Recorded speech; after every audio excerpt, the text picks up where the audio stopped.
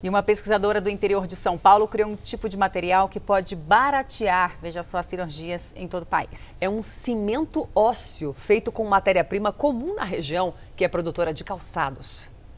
Um projeto que pretende baratear o alto custo das cirurgias no país. A solução pode estar nas mãos desta professora de Química, de uma escola técnica estadual de Franca. Com a ajuda de duas alunas, a professora desenvolveu um cimento ósseo, material utilizado para reconstituir o osso humano em casos de fraturas graves. Os materiais que foram utilizados pela equipe da professora são muito encontrados por aqui. Um deles, olha só, é serragem de couro, o que não é difícil de encontrar na terra do calçado. O outro Olha só, é escama de peixe.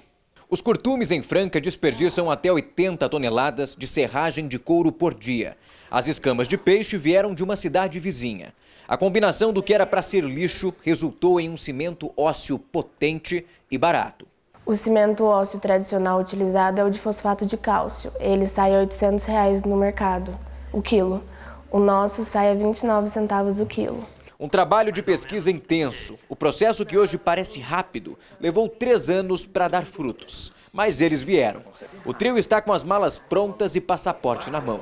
Elas vão para Nova York apresentar o trabalho em uma feira internacional. Tudo começou com a intenção de ajudar quem precisa.